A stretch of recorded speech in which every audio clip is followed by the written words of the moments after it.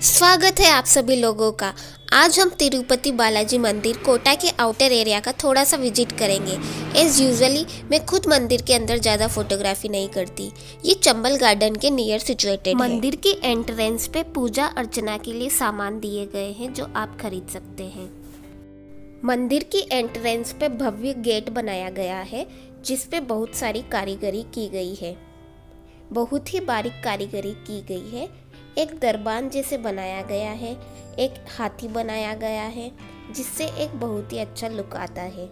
मैं आपको पास से बता रही हूँ। यहाँ पे दरबान है। सबसे ऊपर की तरफ़ गुंबद बना के नाम लिखा हुआ है, मंदिर श्री वेंकटेश भगवान तिरुपति बालाजी। ये बहुत ही आँखों को सुकून देता है। पूजा की ये सामग्री हमने ली थी। मुझे इतनी इन डिटेल जानकारी तो नहीं है, पर एज ए नॉर्मल व्यूअर की तरह से बोलूँ तो यहाँ का माहौल बहुत ही शांतिदायक लगता है, जो कि इसकी विशेषता है। अंदर जाने के पश्चात राइट हैंड साइड में बहुत ही ग्रीनरी है और यहाँ पे भी गार्डन की जो आउटर वॉल है, वो बहुत ही मनमोहक सीढ़ियों से चढ़ने के पश्चात मंदिर ऐसा दिखता है। बहुत ही अच्छी कारीगरी की गई है बट मैंने बहुत ज़्यादा इसका वीडियो नहीं बनाया पूजा अर्चना के बाद यहाँ पे प्रसाद दिया गया था। ऊपर से देखा जाए तो इसका व्यू ऐसा लगता है। ये जो लाल कलर के पेड़ थे, उनसे बहुत ही अच्छा मनमोहक दृश्य बन रहा था। मंदिर की परिक्रमा करते वक्त पीछे की साइड बहुत ही मनमोहक दृश्य दिखता है। हमारी कोटा की शान चंबल रिवर और कोटा थर्मल के टावर दिखते हैं। ये दृश्य भी आँखों को बहुत ही सुकून देता है।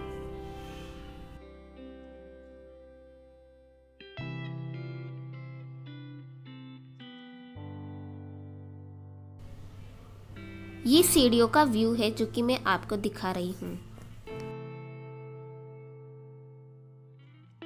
सीढ़ियों पे चढ़ने से पहले ये जो जगह दे रखी है, यहाँ पे पहले पानी रखा जाता था, जिससे हम अपने पैर स्वच्छ कर सकते थे। ये दृश्य मैं सीढ़ियों से उतरने के पश्चात का दिखा रही हूँ।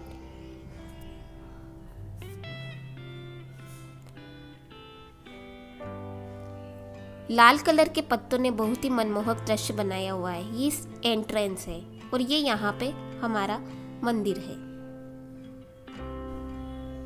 मुझे इतना इन डिटेल तो नहीं पता बट यहाँ पहुँच के बहुत ही शांति और सुकूनदायक माहौल था। हमने अंदर जाके भी देखा कि गार्डन कैसा लग रहा है।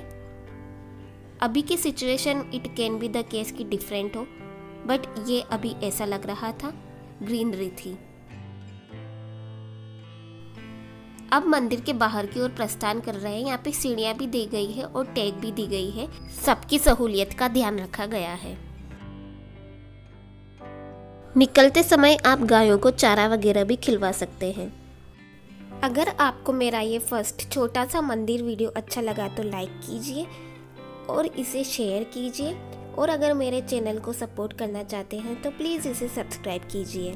मैंने ये फ़र्स्ट टाइम मंदिर का व्लॉग या वीडियो बनाया है तो अगर कुछ बोलने में या बताने में गलती हुई हो तो प्लीज़ क्षमा कीजिएगा। मेरा मकसद सिर्फ़ यह बताना था कि ये कितना मनमोहक दृश्य होता है जब हम यहाँ पे जाते हैं और आप लोग भी इसको विज़िट कर सकते हैं फॉर योर सुकून और दर्शन करने के लिए।